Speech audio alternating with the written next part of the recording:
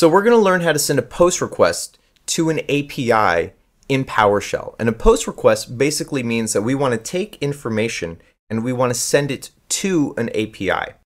We're going to be using GitHub for this example, and we're going to be creating a gist.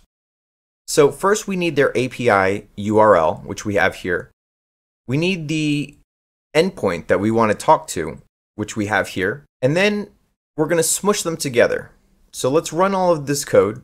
And we have this complete URL called URL anon. And from this URL, we'll be able to interact with the gist endpoint of their API. So now we need to create the gist.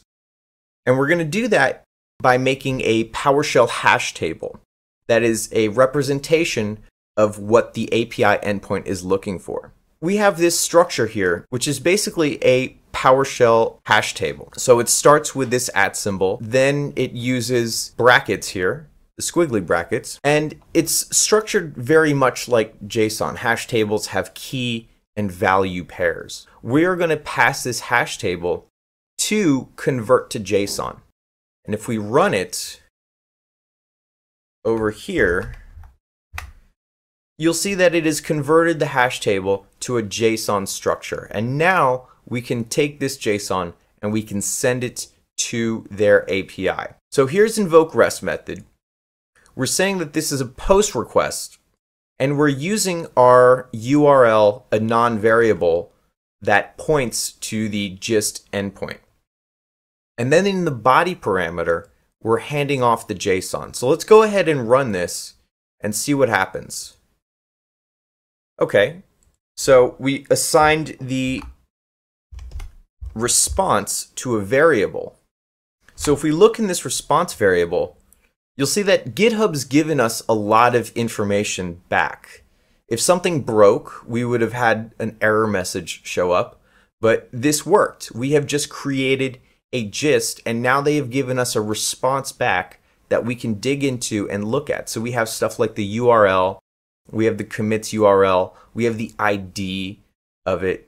The one that we want to take a look at here is the HTML URL, which is going to give us their beautiful GitHub interface with all the code highlighting and neat stuff like that. So we can go to this URL and we can see that our gist is on GitHub now. This is live code. We have spoken with their API and we have string file contents here.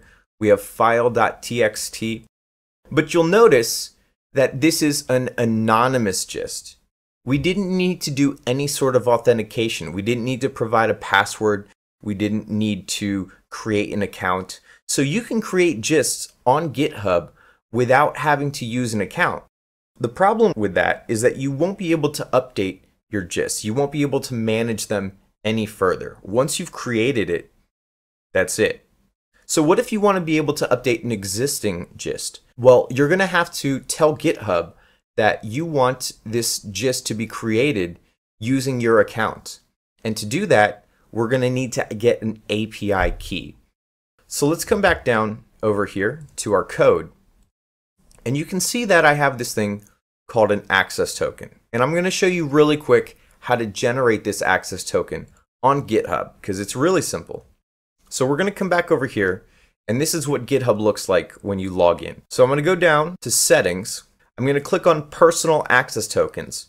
And this is where you can generate a whole bunch of access tokens in order to work with the GitHub API. So we're going to generate a new token here and we're just going to call it my token. And you'll see that you can select different scopes. And the cool thing about these tokens is that you can generate a bunch of them and you can give them different access scopes. So let's say that we want this key to only be able to create gists. We would select gist, and when we create this key, that's all the key can do. It cannot edit any of our existing repos. It cannot edit any of our account information. So this is a security measure. Maybe you want to run your PowerShell code on a remote server and somebody hacks the server and they steal your API key. Well, the most that they could do is create gists with that API key and maybe create some ASCII art of dick butt and you see it on your account. And that's That's the worst thing that could happen. So different APIs will handle keys and security differently. This is one of the options. There's basic authentication as well. Uh, but we're going to go with this API key because it's really secure, it's really easy to use. So we're going to generate this token, and with GitHub, you have to make sure that you copy it as soon as you create it. Because once you refresh the page, you will not be able to access that token again. This is another security feature so that if somebody logs into your GitHub account, they're not going to be able to grab all of your tokens. So you create the token, you copy it, and you can see here it's never been used and now we're going to use it. So we take that token and we go back to the code and I'm going to edit this existing token that I've used here to use the new one that we've created. So now we're going to assign it to this new variable. Now what is this token variable? So we're creating a new U, uh, URL called URL secure. URL secure is going to be the URL. It's going to be the endpoint and then it's going to be this question mark access token is equal to my access token. And when GitHub sees that, it will say, hey, this person wants to associate this request with an account. And we're going to check to see if this token is allowed to function uh, with this request. So let's make it just like this. Now we're going to look at URL secure. And you can see that URL secure is similar to the one that we used before, but now it has an access token. And then we're doing the exact same thing that we did before, only with our URL secure variable. So let's run it. So we have this gist variable again. Let's take a look at it. So now we have more information here. You can see that it has a history. It has the owner, which is new. You can see all of this owner information we have the ID, we have the URL. So let's get the HTML URL like we did before. And you can see it's the same gist that we created before, only now it's associated with the Mr. PowerScripts account. So we have more control over this gist now that we've created it with our API key. So let's say that we want to make a change to this gist. How would we do that? Let's go back to the API instructions. And you can see that you can edit a gist. You can use the patch method. You would send it to gists ID and you would put the same structure that you would you did before. And we're going to update that existing gist.